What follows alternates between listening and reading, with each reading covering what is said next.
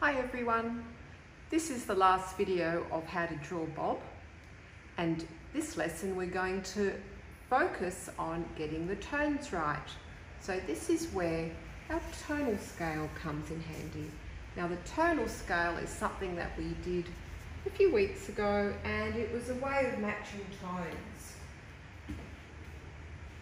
So in a tonal scale of 1 to 10, 1 is the white of the page and 10 is as dark as you can possibly go.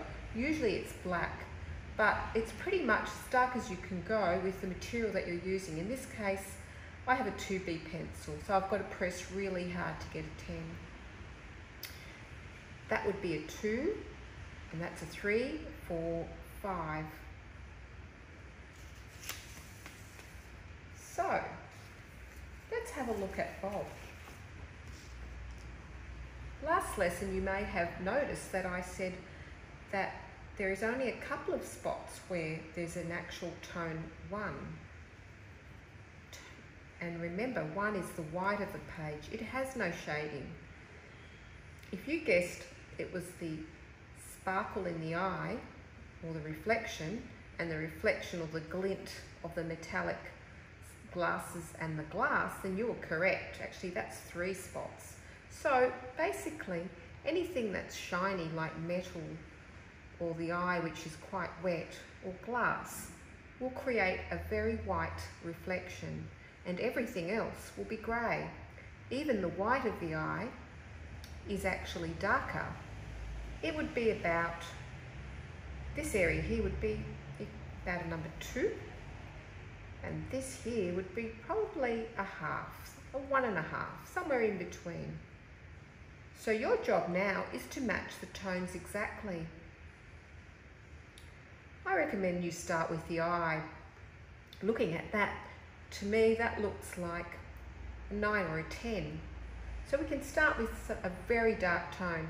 But before you do that, don't forget to put some little shapes where the sparkle or glint of the eye is. And then you can start shading the rest in. Press really hard so you can get that tone of one, of rather nine or 10.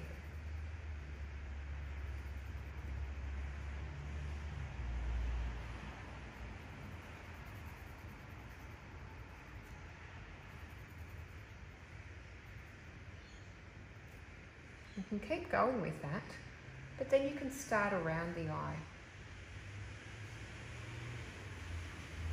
and perhaps put in the white of the eye, which is very, very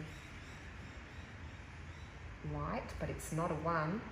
You can even use your eraser to lighten it by dabbing it very gently.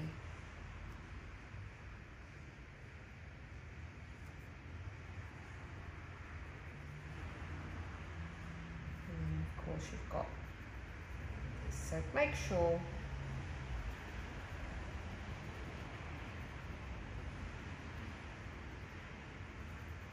that you get the tones right. Now, remember that trick I told you about? Squint and blur. Try it now. Squint your eyes and blur. Uh, is that tone matched to that? Pretty much. You could go a bit darker. So keep going on with that. Here is one that I completed yesterday. Well, it's not quite complete, but I've almost finished the eye. Notice how the tones make the eye look quite round and three-dimensional.